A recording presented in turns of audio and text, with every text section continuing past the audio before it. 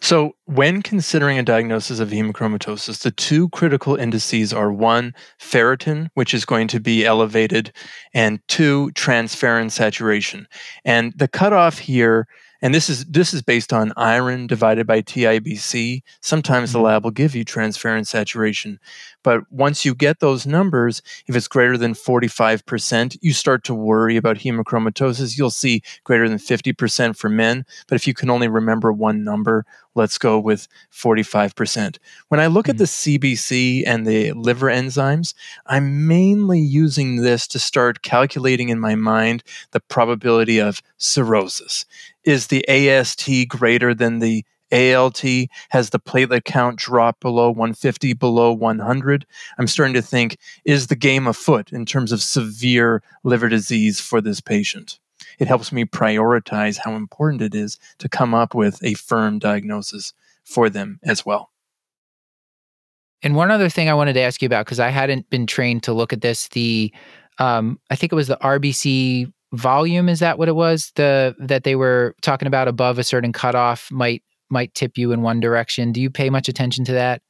So I think that uh, this is one of these things that has stuck around for a while where you will see changes in MCV that uh, are are uh, that were classically associated with hemochromatosis, but red cell indices are neither sensitive nor specific for the kind of thing that we're hunting for, particularly in the outpatient clinic setting.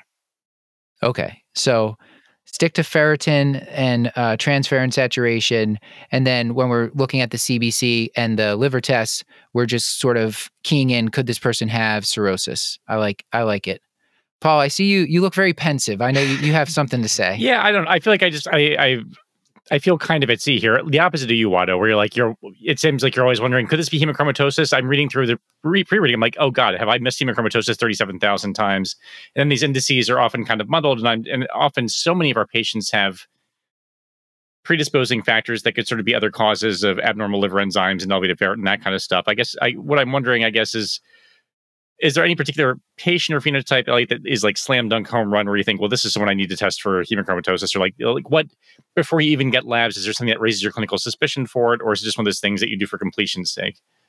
Yeah, so I am more likely in the first visit to check iron indices in somebody who lacks classic risk factors for what is best described as dysmetabolic iron overload syndrome. So people who I know are not drinking, I have biomarkers that prove they're not drinking alcohol to excess. I know that this person doesn't have diabetes or severe metabolic syndrome. But if I have mildly elevated liver enzymes, I'm going to focus on global uh, liver health and lifestyle changes in hopes that I can improve those liver enzymes. And I use time to be the greatest arbiter of the diagnosis. Where if that person uh, stops drinking or cuts back, or if they lose weight and they still do not drop their ALT or do not drop their ferritin, then I start to look into it a, a little more closely. But I have seen over the course of six, 12 months, people take ferritins in the uh, low thousands to the low hundreds simply with lifestyle change, validating this approach because common things being common, it's much more likely that their elevated ferritin is going to be caused by the dysmetabolic iron overload syndrome.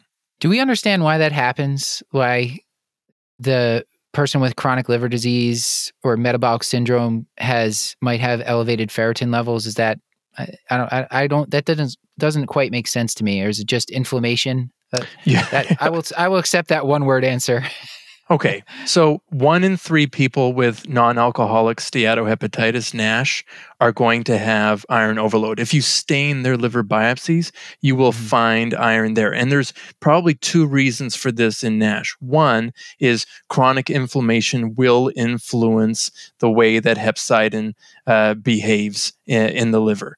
And then, two, inflammation of the hepatocyte is bursting open these cells, spilling their contents into the blood, uh, and among them, ferritin. So you mm. will see iron and ferritin as a function of liver cell death. But two out of every three people with alcohol related liver disease will have elevated ferritin.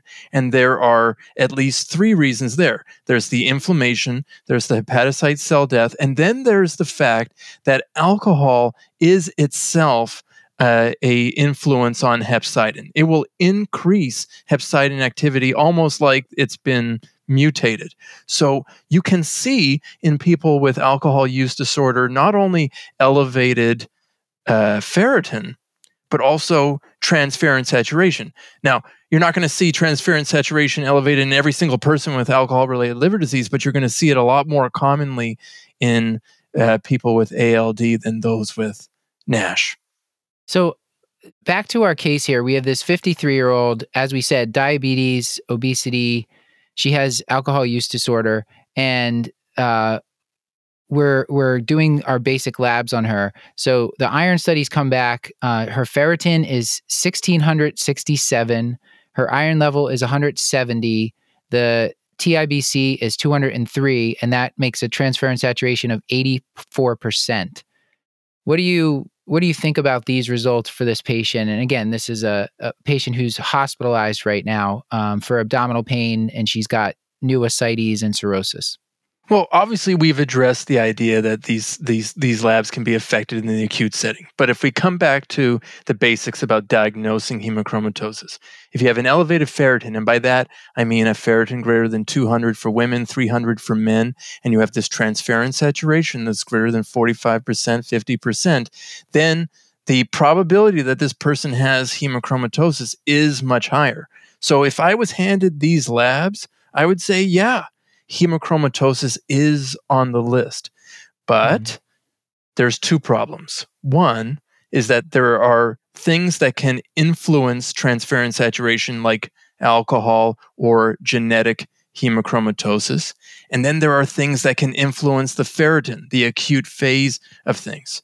So you can have the genetic condition, but it might not be penetrant. So in people with genetic hemochromatosis, you will always see this elevated transferrin saturation, but you don't necessarily ever develop the iron overload.